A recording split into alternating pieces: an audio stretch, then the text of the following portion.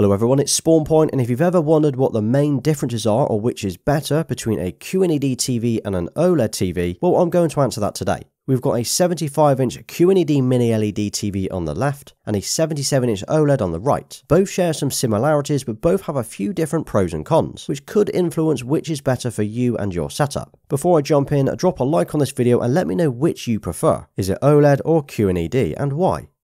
So I have tried to set the TVs up with exactly the same picture settings, although for this video I did need to reduce the brightness of the mini LED TV, which brings us on to the first and biggest difference between the two. Generally speaking, OLED TVs are ideal for darker rooms, watching at night, or rooms where you can manage the light conditions. They don't get super bright, and even at 100% brightness, you wish you could get a little bit more from them. The newer EVO panels are definitely an improvement, but for me personally, OLEDs are bright enough in normal conditions. It's only when compared side by side with a QNED TV you really see the difference. The QNED is noticeably brighter, which might not sound like something that you need, but if you have a bright room or you've got it placed near a window, the extra brightness really comes in handy. And this was one of the biggest things that I noticed with this mini LED TV, was just how bright it could get in normal viewing conditions. Flicking between the two TVs, especially when they are both set to 100% brightness, it was a clear difference.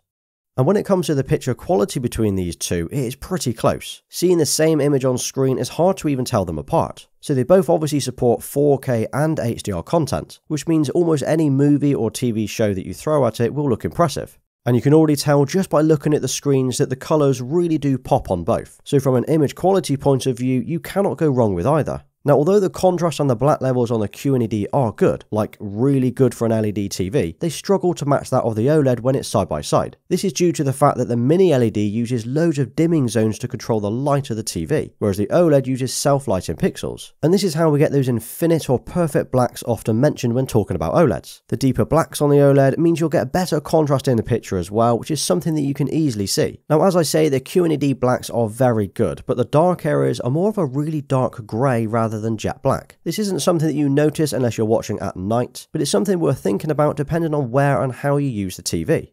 Now you might have noticed this already, but the screen coatings are different on both of the TVs. The OLED has a glossy, almost mirror-like finish, while the QNED has a matte coating instead. So both are different and both have a pro and con to their finish. If you're using it in a bright room or near a window, reflections will be something worth thinking about. An OLED can be super reflective if there's a window directly opposite. So if you're watching it during the day and the sun is beaming through, it's not going to be easy to view. The QNED on the other hand with its matte finish allows it to be viewed more easily during the day or if you've got it closer to a window. So in a kitchen this would be perfect. And that goes hand in hand with the bright panel. So if you've got this set to 100%, you're not going to see many reflections at all. Now, viewing angles were one of the biggest features that set an OLED TV apart from LCD, as LCD TVs were either edge lit or backlit, so as soon as you walked off center, you'd lose all contrast and struggle to see what was on screen. But over recent years, with the introduction of QNED and mini LED TVs, this has massively changed. The gap is a lot closer now between the two technologies. With an OLED, you can view it at pretty much any angle and still see exactly what's on the screen. And this is ideal if you've got seating off center in your room. Now, with QNED, is not that much different. Sure, you're going to lose a little bit of contrast as you move around, and it's not quite as good as OLED, but it's still very impressive and most people would be more than happy with it.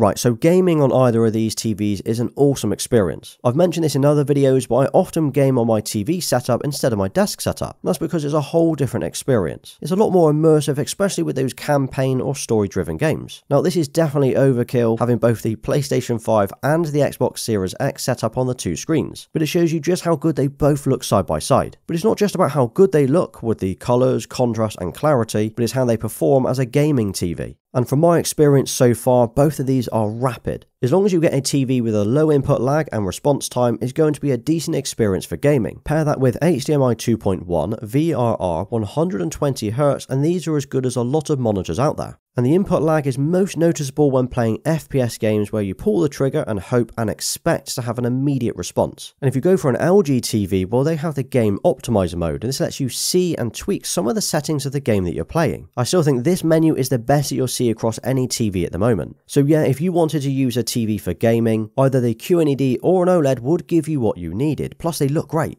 Now, if you do plan on using a TV for gaming, you could be concerned or worried about burn-in. It's one of the questions that I often see asked in my OLED TV videos. So burn-in is where you get image retention if you display a static image or logo for a long period of time. Things like heads-up display, maps, or speedos in games. Now, historically, OLEDs were more prone to this, but there's less of a concern now with the features that are built in. Things like pixel refreshing, reducing logo brightness, and screen shift. Now, personally, I've never experienced burn-in on any TV or monitor. That includes OLEDs. And that's after hours of gaming or watching TV. Now, on top of that, my children use this TV for gaming as well. And if I was concerned, I simply would not let them use it. I know some of the latest OLEDs, like the G series, do come with a 5 year panel warranty as well. So, once again, if that was a concern for you, you know you've got that backup. QNED on the other hand has no risk of burn-in, so there's no OLED care option on this to mess around with. But if you are using a TV of this size for gaming and movies, you've seriously got nothing to worry about. Now using it as a monitor however, with a taskbar and windows open all day, now that could be an issue but that comes down to your own usage.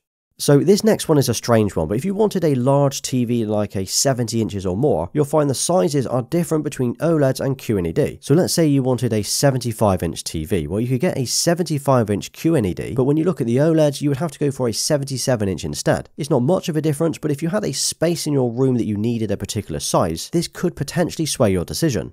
Now, most TVs look the same, and design is subjective, but I think OLEDs do look a little bit nicer. I'm not sure if it's because of the slightly slimmer bezels or the thin frame, but they do look great. LG QNEDs do look nice though, and the 2022 model that I have here with the darker grey stand is a lot nicer over the previous model that we've seen before. But again, the stand or the feet could be another factor when choosing a TV for your unit, because most OLEDs have the flat panel at the front, whereas most QNED TVs have feet instead. Saying that if you're going to wall mount the TV anyway, well, the stand on these are irrelevant.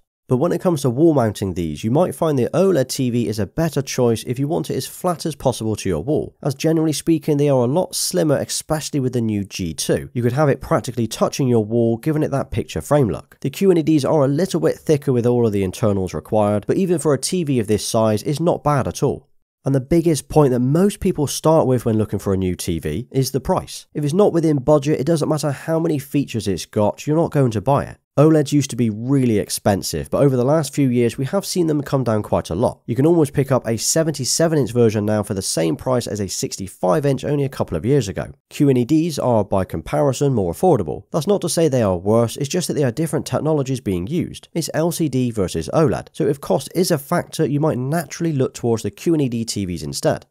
So with all of that said, looking at the brightness, picture quality, reflections, gaming, burn-in and a few others, which is the better choice? Well as mentioned at the start, it really comes down to which is best for your needs or the room that you're using it in. For me, a brighter room with windows opposite or right next to the TV, I would go for a QNED. It'd be a lot more forgiving with the matte screen and the extra brightness. But if you can control and manage the lighting in your room to reduce the reflections, the OLED is, in my opinion, the overall better choice. The screen has more clarity and those inky blacks are hard to pass on once you've seen it. But what about you? Which would you choose and why? Let me know in the comments. And if you did enjoy today's video, check out my 2022 room tour video next, as this is the last tour that you will see in this house. I will share more about this soon. Thanks for watching, please like, sub and follow me on Instagram and Twitter.